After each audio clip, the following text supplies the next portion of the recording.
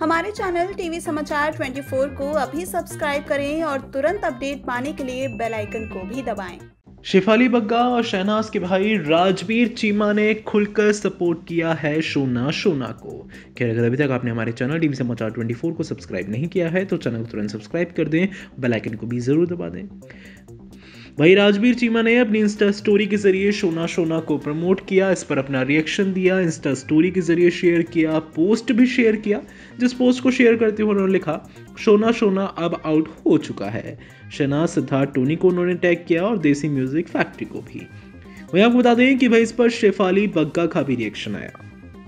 यहाँ शेफाली बग्गा ने अपने ट्विटर हैंडल के ज़रिए ट्वीट शेयर करते हुए लिखा, Shehnaaz Gill looking wow in Shona Shona. यानी कि शहनाज कौर गिल, काफ़ी ज़्यादा मज़ेदार स्टनिंग वाव लग रही हैं इस सॉन्ग में ये वो कहना चाह रही हैं। जी हाँ काफ़ी हटकर जवाब दिया है शेफाली बग्गा ने। उन्होंने कहा है कि भाई शहनाज वाव है। आप क्या कहना चाहेंगे इन सब पर? हमें नीचे कमेंट सेक्शन के ज़रिए अपनी राय ज़रूर बताएँ और ऐसी तमाम अपडेट्स के लिए जुड़े हमारे चैनल टीवी समाचार 24 के साथ। हमारे चैनल को सब्सक्राइब करना ना भूलें।